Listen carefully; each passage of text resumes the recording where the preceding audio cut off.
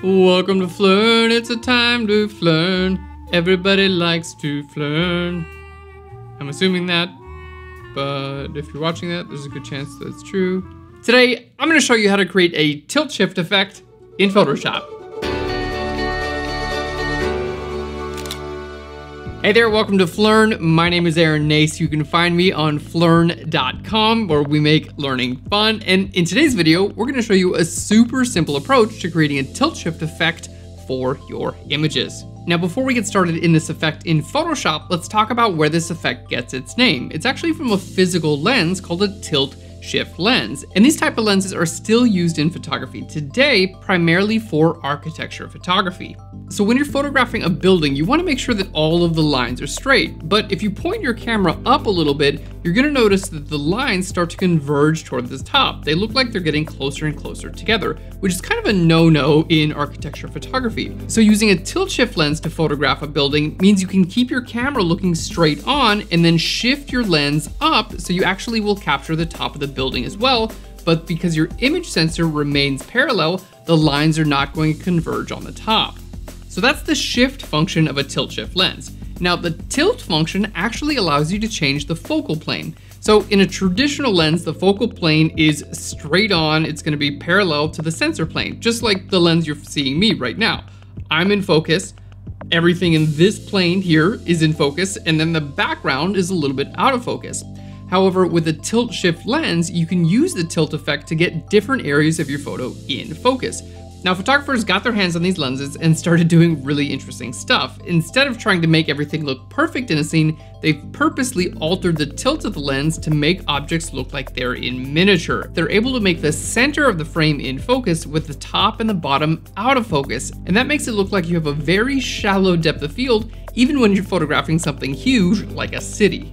Now this effect is incredibly easy to do in Photoshop, but there are a couple things we want to keep in mind before getting started.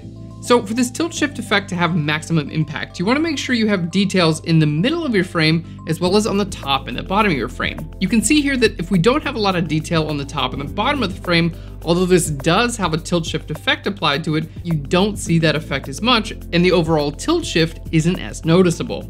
Next, I recommend using a photograph from above. It gives you a little bit greater of a depth of field that you can actually play with for this effect. Also photographing from above tends to keep things out of the sides of your frame, which is our next tip.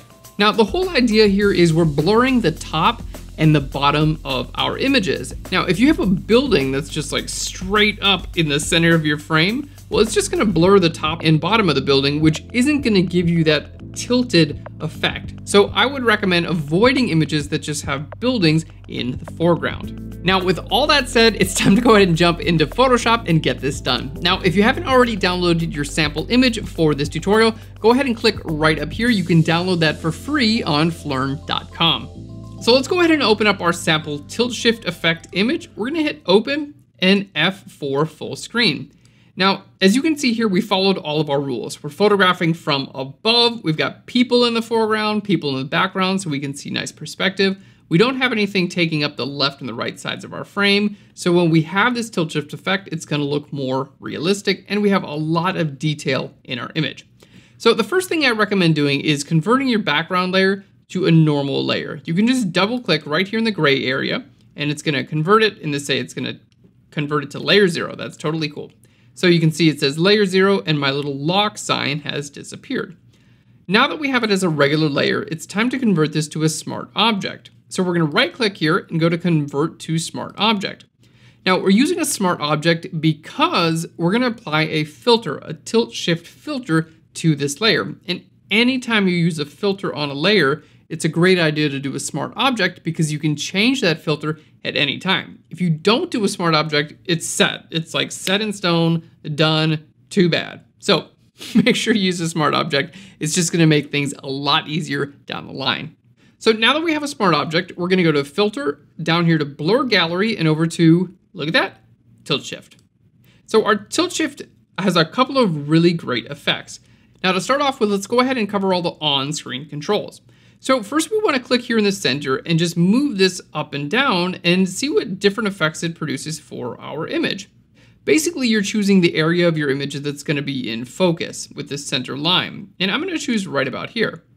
Now, the area that's out of focus is right here. So this dotted line here and this dotted line here, let's just bring this up a little bit so you can see both those dotted lines. So we have a dotted line here on the top and a dotted line here in the bottom. Basically, this dictates where you're completely out of focus. So we're completely in focus from the solid line to the solid line. And then we have a feathering effect from solid line to dotted line, going from in focus to out of focus. And again, down here, in focus to out of focus. So if I bring these lines up, there we go. Let's go ahead and bring that one up and I bring this one up as well, or down rather. You see we have a lot more of a gradual effect where we have an in focus area that slowly gets out of focus and then up here it's in focus and then slowly gets out of focus as well. Or if you're interested, let's go ahead and bring all those together. You can get an even more pronounced effect by bringing these all together. And you can see here now just the center area is in focus and everything else is out of focus. Now, my suggestion is actually to bring these a little bit wider. It looks a little bit more realistic and it looks like the actual lens effect that you would get. All right, so let's go ahead and bring these down and you can even bring them even further down off your image if you want even more of a subtle effect. And with this sort of thing, I find that the more subtle your effect are, the more the more fuddle. I find that the more subtle your effect is, the more realistic it tends to look. So let's go ahead and bring this right down here. I think this is looking pretty good. Now you have controls right out here. This is your little blur dial. So you can choose to have less blur or more blur, making an object look more or less miniature. Again, you just kind of want to avoid going super crazy with this because it's just not going to look real. All right, so something like that actually I think is looking pretty good, maybe a little bit less. Now we do have some controls. Actually, I think on the bottom here, I'd like to bring in a little bit more blur here on the bottom.